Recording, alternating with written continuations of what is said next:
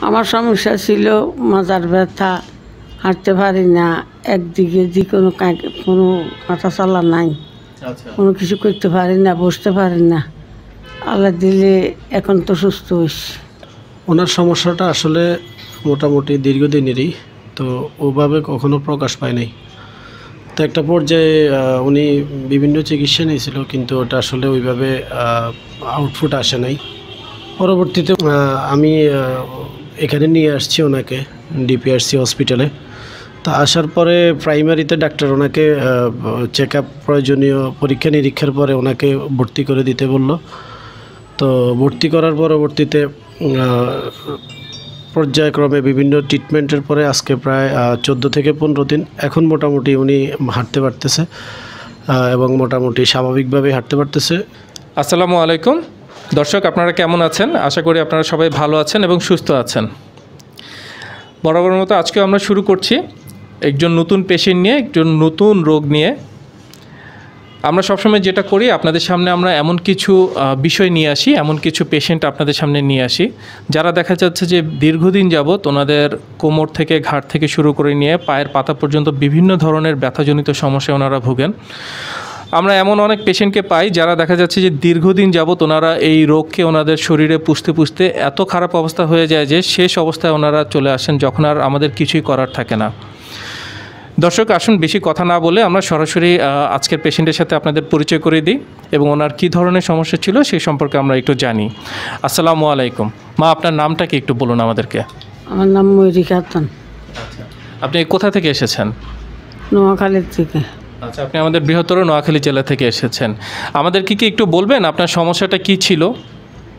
আমার সমস্যা ছিল মাজার ব্যথা হাঁটতে পারি না একদিকে যে কোনো কোনো কাঁটা চলা নাই।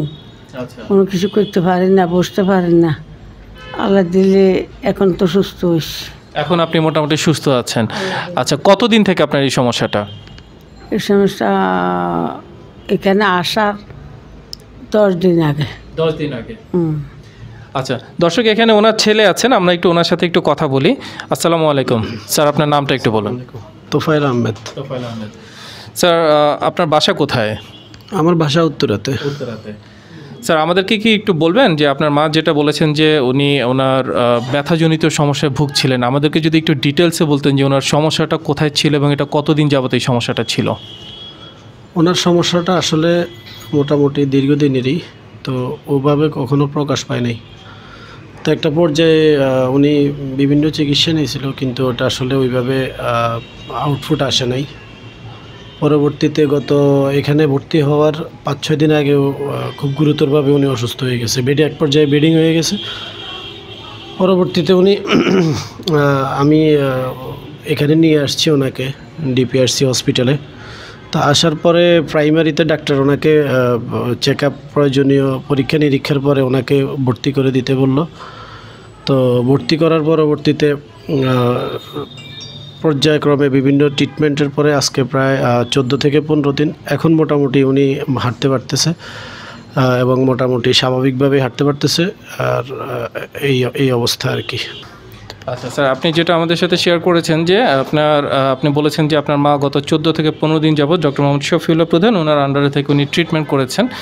তো এর আগে প্রায় হচ্ছে দশ বারো দিন আগ থেকে ওনার সমস্যাটা একটু প্রকট আকার ধারণ করেছে। তার আগে যেটা ছিল যে হয়তো সাময়িকভাবে মাঝে মাঝে সমস্যাটা দেখা দিত, ব্যথাটা দেখা দিত বাট হয়তো আপনারা সেরকমভাবে জিনিসটাকে আমলে নেননি। আচ্ছা পরবর্তীতে একটু জানতে চাই যে স্যারের বিষয়ে আপনারা প্রথম কীভাবে জানতে পারেন? স্যারকে এর আগে আমারও কিছু সমস্যা ছিল ডিস্কের। পরবর্তীতে আমি অনলাইনে অনেক খোঁজাখুঁজি করে স্যারের ডিটেলসটা পাই। পরে আমি ওনাকে দেখালাম তো উনিও আমারও চিকিৎসা করেছেন। তো ওই বিশ্বাস থেকেই আর কি আমি স্যারকে এই ওনাকে এখানে নিয়ে আসি। আচ্ছা তার মানে আপনি নিজেও স্যারের একজন পেশেন্ট ছিলেন। আপনার অবস্থাটা কি ছিল? আমার অবস্থা মোটামুটি ভালোর দিকে আর কি। ইনশাল্লাহ মোটামুটি। আমার হচ্ছে ট্রিটমেন্ট চলতেছে, তো মোটামুটি ইমপ্রুভ হচ্ছে ডে বাই ডে ইমপ্রুভ হচ্ছে। দেখা যাক, ইনশাল্লাহ। তার মানে যখন আপনার মা হঠাৎ করে ফল ডাউন করেছেন, আমরা ওনার পূর্বের ছবি দেখেছি। আপনি যখন ডিপিআরসি হসপিটালে ওনাকে নিয়ে এসেছিলেন, উনি একদম হুইল চেয়ারে করে এসেছিলেন এবং উনি একদম টোটালি মুভ করতে পারছিলেন না, সেরকম একটা অবস্থায় ছিলেন এবং আপনারা কি করবেন ঠিক বুঝতে পারছিলেন এরকম একটা অবস্থায় আছে। তো স্যার ওনাকে দেখার পরে কি বলেছিলেন? স্যার, ওনাকে দেখার পরে আসলে ওনার যে চিকিৎসা, ওই চিকিৎসাটা আসলে ওনার মানে আমি যতটুকু বুঝি আর কি, যে ওনার শরীরের বিভিন্ন নার্ভ ডিস্কের বিভিন্ন জায়গায় সমস্যা দেখা দিয়েছিল। তো এটা আসলে মেডিকেল টার্মস আমরা তো অত কিছু বুঝব না। তো স্যার বলল যে, ভর্তি করে দেন। ভর্তি করার পরে প্রয়োজনীয় থেরাপি এবং চিকিৎসা ওনার এখানে আজকে প্রায় পনেরো দিন চলছে। এখন মোটামুটি আজকে এই পর্যায়ে আর কি। আচ্ছা উনি কি এখন হাঁটা চলা বা ওনার যে স্বাভাবিক কাজগুলো, সেগুলো কি নিজে নিজে করতে পারছেন? হ্যাঁ মোটামুটি। ওনার তো বয়স হলো প্রায় সেভেন্টি আপ অনেক অনেক তো অনেক বয়স। সেই ক্ষেত্রে মোটামুটি এখন মানে গত পনেরো দিন আগে যে অবস্থা ছিল এই অবস্থা থেকে উনি এখন ভালো আছে আর কি। তাহলে আমরা যে ছবিটা ওনার দেখেছি যে উনি একদম হুইল চেয়ারের অবস্থায় এরকম পর্যায়ে দেখা যায় আমরা অনেক পেশেন্টকে দেখতে পাই যে অনেকে হাল ছেড়ে দেন। অনেকে মানে ভাবতেও পারেন না যে একটা মানুষ যে আবার ওই অবস্থা থেকে রিভার্স করা সম্ভব এটা আসলে অনেকেরই ধারণা থাকে না। তারপর কিন্তু আপনারা চেষ্টা করেছেন এবং আপনার রুগী কিন্তু আজকে সম্পূর্ণ ভালো এবং সুস্থ হয়ে আজকে বাড়ি চলে যাচ্ছেন। একটু জানতে চাইব আপনাদের কাছে, আপনারা যতদিন ডক্টর মোহাম্মদ শফিল প্রধান ওনার আন্ডারে থেকে ট্রিটমেন্ট করেছেন, ওনার চিকিৎসা ব্যবস্থাটা সম্পর্কে যদি একটু বলেন বা হসপিটালের টোটাল ব্যবস্থা সম্পর্কে যদি একটু বলেন। ওনার চিকিৎসা তো আসলে উনি যে প্রেসক্রাইব করেছে সেই অনুযায়ী চিকিৎসা চলছে। আর হসপিটালের ব্যবস্থাটা আসলে আমি যেটা বলব আসলে এখানে, এই যারা দায়িত্বে ছিল নার্সিং অথবা ফিজিওথেরাপিস্ট যারা ছিল, তারা প্রত্যেকেই যথেষ্ট আন্তরিক। তো তাদের আন্তরিকতা এবং তাদের ডাক্তারের প্রেসক্রিপশন প্রেসক্রাইবড দুইটা মিলে মোটামুটি মানে ভালো ভালো বলা চলে, ভালো বলা চলে। আমরা জানি যে আসলে একটা পেশেন্টের জন্য সঠিক ট্রিটমেন্ট যেমন দরকার, তার পাশাপাশি একটি সঠিক হসপিটালিটি বা নার্সিং অনেক গুরুত্বপূর্ণ অবদান রাখে এবং সঠিক সেবা এবং সঠিক ট্রিটমেন্টের কারণে একটা রুগী কিন্তু সম্পূর্ণ ভালো এবং সুস্থ হয়ে ওঠেন খুব দ্রুতভাবে। যখন উনি দেখতে পারেন যে উনি ওনার বাসায় যেভাবে উনি থাকেন সেরকম পরিবেশে যদি ওনারা থাকেন, খুব দ্রুত অবস্থায় ওনারা ভালো হয়ে যান। স্যার আরেকটা বিষয় একটু জানতে চাইব আপনাদের কাছে, যেমন আপনি বলেছেন যে আপনার মাকে আপনি নিয়ে এসেছেন কারণ আপনি নিজে স্যারের বিষয়ে আপনি জানতেন এবং আপনি স্যারের আন্ডারে থেকে আপনি ট্রিটমেন্টও করেছেন এবং সেই বিশ্বাসে আপনি ওনাকে নিয়ে এসেছেন। তো আপনার মতো কিন্তু এরকম অসংখ্য রোগী আমাদের আশপাশে কিন্তু ছড়িয়ে ছিটিয়ে আছে, যারা হয়তো এই ধরনের সমস্যাটা ভুগে।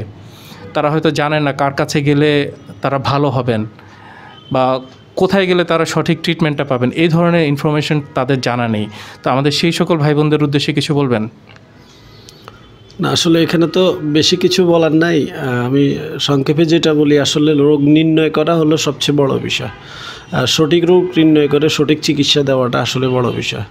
তো সেই ক্ষেত্রে এক্সিস্টিং আমার আম্মার যে সমস্যা কিংবা ছিল কিংবা উনি যে টাইপের পেশেন্ট এই পেশেন্টের জন্য এই ধরনের চিকিৎসা আসলে অনেক গুরুত্বপূর্ণ।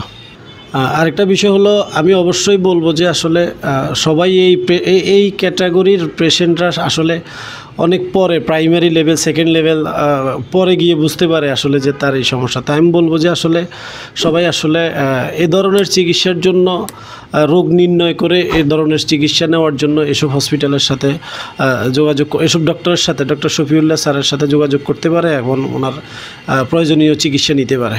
এটা আমি প্রত্যেকটা রুগীকে বলব যে এই চিকিৎসার জন্য এই ডাক্তারের শরণাপন্ন হওয়ার জন্য। দর্শক মণ্ডলী এতক্ষণ আপনারা পেশেন্টের ছেলে ওনার কাছ থেকে আপনারা শুনতে পেলেন যে উনি নিজেও আসলে স্যারের একজন পেশেন্ট ছিলেন এবং পরবর্তীতে যখন ওনার মায়ের অবস্থাটা খুব বেশি খারাপ অবস্থায় চলে গিয়েছিল, উনি ওনার হুইল চেয়ারের থেকে উনি উঠতে পারছিলেন না, নিজে নিজে উনি কোনো কাজ করতে পারছিলেন না।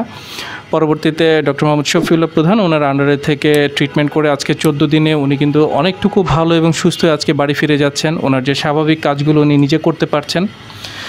তো এবং উনিও কিন্তু একটা মেসেজ আপনাদের জন্য দিয়েছেন। সেই জিনিসটা হচ্ছে যে আপনারা যারা এই ধরনের সমস্যাগুলোতে ভুগছেন, আপনারা যেখানেই যান বা যার কাছে আপনারা ট্রিটমেন্ট করেন, আগে আপনারা জানুন, বুঝুন, ভালো করে গবেষণা করে আপনারা সঠিক সিদ্ধান্ত নেবেন যে আপনার কাজ কাজ থেকে সিদ্ধান্ত নেবেন। এবং প্রাথমিক অবস্থায় যদি আপনাদের এই সমস্যাটা ধরা সম্ভব হয়, আপনারা সকলেই কিন্তু সুস্থ হওয়াটা অনেকাংশে আমাদের বেড়ে যায়। ধন্যবাদ আপনাদের সবাইকে আমাদের সাথে থাকার জন্য। আপনাদেরকে অসংখ্য ধন্যবাদ আপনাদের মূল্যবান এবং সময় আমাদেরকে দিয়ে সহযোগিতা করার জন্য। আসসালামু আলাইকুম। আপনাকেও ধন্যবাদ ডক্টর শফিউল্লাহ স্যারকেও ধন্যবাদ এবং পাশাপাশি এই এখানে যারা নার্সিংয়ে ছিল যারা বিশেষ করে আমার মাকে এই চোদ্দ দিন বিভিন্ন নার্সিং সেবা দিয়েছে আন্তরিকতার সহিত তাদেরকেও অনেক ধন্যবাদ। ধন্যবাদ সবাইকে।